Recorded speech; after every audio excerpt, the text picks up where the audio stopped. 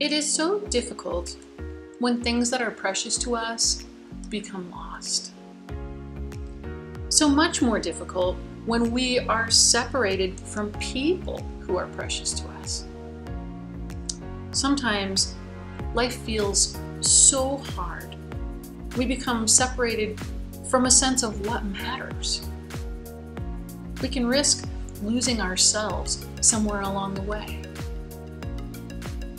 Henry David Thoreau wrote, What lies behind us and what lies before us are tiny matters compared to what lies within us. How can I remember this idea?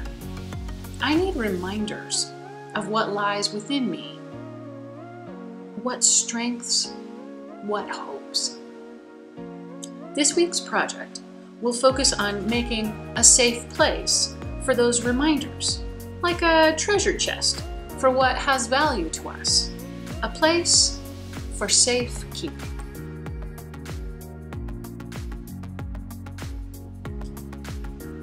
What small keepsakes do you carry that remind you of precious people or places or times in your life? What reminds you of your best self?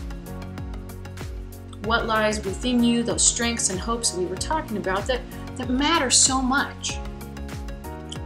Whether you carry actual keepsakes with you or simply hold memories or ideals close to your heart, we all need a space for safekeeping. Using any box, a wooden box, cigar box, gift box, even a tissue box, we can create a symbolic space for safekeeping. I can glue paper or fabric onto the outside of the box, or I can focus on creating an environment inside. A scene I want to imagine, or a softness to hold an object. So be thinking what colors add to your feeling of safety and security. What textures? Do you prefer layers and an intricate pattern? A one smooth color overall. Decoupage is a great technique for adding a lot of paper layers to a box. It's basically using glue under and over your paper. So Mod Podge is a handy adhesive to use. Uh, fabric or cloth glue uh, will let you stick cloth onto a heavier box. Another approach is to make the box with intention for someone you care about. So my friend is sick, so I found this interesting old box and added fabric to the bottom. I'm going to give her this necklace. This necklace of mine and this tiny note um, that I hope that she will feel better. I'm letting her know that I'm with her in spirit. And then I'm going to send a symbol of my heart to hers. So let's work on making a safekeeping box. So I have my box.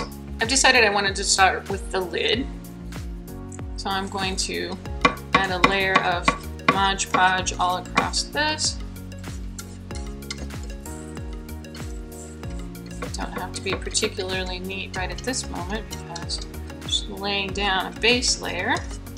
I want to work quickly so it doesn't start drying out without my paper that I'm going to add on. Again, you can do this with glue. Glue can be applied with a brush, uh, same as Mod Podge. So I'm just using a little plastic cup to hold it so that I have an easy container to manage. Now, it's handy if you lay out what you want to do first, then by the time you're applying your glue, you know where you want to place things. So I have a couple of pieces here that I played with earlier, found out were the right size.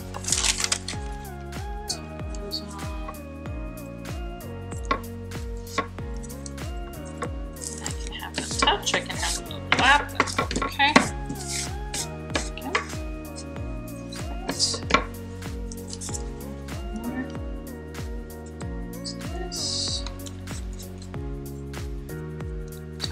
as I'm working on my safekeeping box, I'm thinking about how I feel.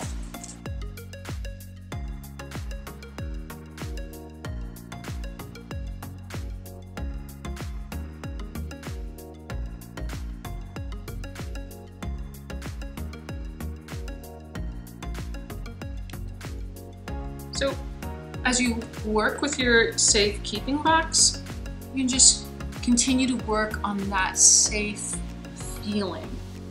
Feel like you have a space for all the things you carry in your heart. This one is a reminder to go on a journey. This one might represent an image of the home I hope to have one day. I can feel safe to dream and hope. These pieces I have created can hold those hopes and dreams for safekeeping.